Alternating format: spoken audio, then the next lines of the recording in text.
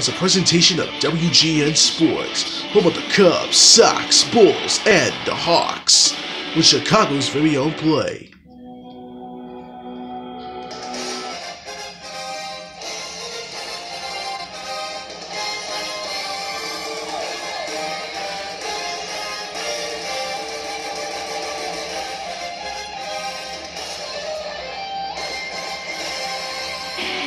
Snow is going to go away very soon, folks, in Chicago. We are enjoying the fun and the sun of Arizona. It's our first White Sox telecast of the year. It comes from the Cactus League in Sloan Park, the home of the Cubs, as the Sox are on the road this afternoon.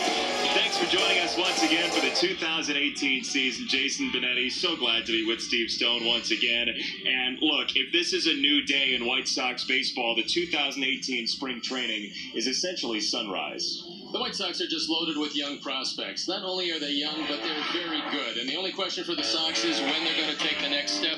They're starting this spring. Baseball is back, folks. It's going to be really exciting. And personally, this year, it'll